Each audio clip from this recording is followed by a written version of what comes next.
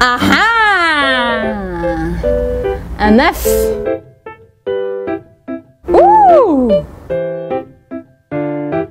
Deux œufs. Mmh.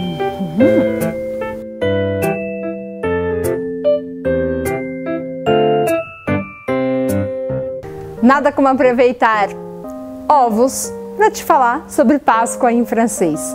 Páscoa em francês se diz Pâques. E quando você quer desejar a alguém que a pessoa tenha uma feliz Páscoa, você vai dizer Bonne Pâques, Bonne Pâques ou Joyeuse Pâques, mas a gente fala mais Bonne Pâques.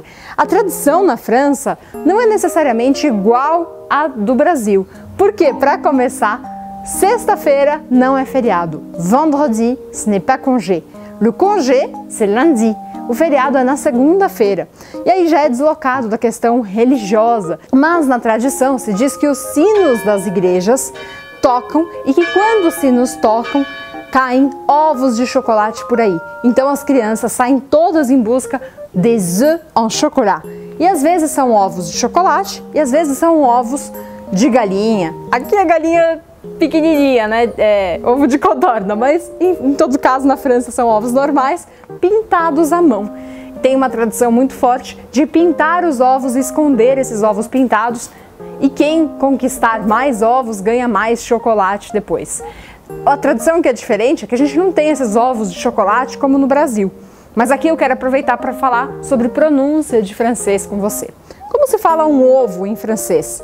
Un œuf, œuf, œuf. E para você falar œuf, e aqui lembrando que eu estou falando no singular, você precisa fazer aquela cara de vômito. Ah, ah, abrir a boca realmente, como se você fosse vomitar. Eu sei que pode parecer nojento isso no primeiro momento, mas faça como se estivesse com nojo de alguma coisa. Ah, uf, uf. É como se fosse um A, mas mais fechado. Uf, uf. Essa é a palavra no singular. Agora aqui, j'ai des œufs. Olha que curioso. No plural, essa palavra a gente não pronuncia o F e o som fica mais fechado. Então eu falo e, e, des œufs, un œuf, un œuf et des œufs, un œuf et des œufs. E aqui eu quero que você preste atenção em mais uma coisa. Não diga para um francês que você ganhou ovos de chocolate dizendo J'ai gagné des œufs au chocolat. Isso não quer dizer nada em francês. Quando você usa o verbo gagner em francês, é referente a jogos ou algo que você ganha num jogo, uma loteria, algo assim. Aqui você vai falar J'ai trouvé des œufs au chocolat. As trouvé des œufs au chocolat? Eu encontrei ovos de chocolate por causa da tradição de se esconder pelo jardim e pela casa os ovos para as crianças encontrarem. Outro ponto interessante são as tradições. Sim, na Páscoa, por Pâques, on rencontre la famille. A gente encontra a família. Mas a gente não come bacalhau como aqui no Brasil. O prato típico de Páscoa é cordeiro. Oui, messieurs, dames, on mange de l'agneau. L'agneau, voilà. Espero que você tenha gostado de descobrir sobre as tradições de Páscoa na França. E maintenant, c'est à toi. Chegou a hora de você se colocar em ação. Você vai completar a frase À Pâques, je. À Pâques, je.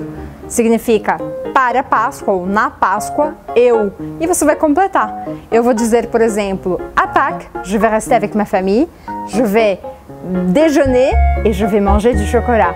Et toi, qu'est-ce que tu vas faire à Pâques Merci beaucoup et à la prochaine. Bisous. Ciao, ciao.